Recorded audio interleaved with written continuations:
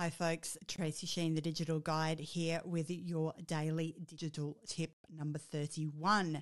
Today, I'm going to let you in on a little Zoom secret. This is my absolute favorite and something that can give you a competitive edge, so to speak, in Zoom. So, go ahead, open your app, and on the top right hand side, you'll see the little hamburger wheel, your settings wheel. Click into that, and I want you to go to video and you're going to look for a little thing called touch up my appearance. Make sure that is ticked. The difference between it being unticked and ticked is, you know, worthwhile doing. You only need to do it once and it will sit in the background then for you and enhance your appearance as you're speaking on Zoom.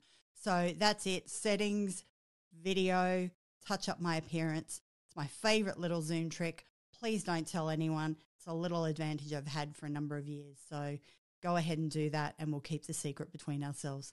That's it for Daily Digital Tip number 31. I'll see you tomorrow at 11:30.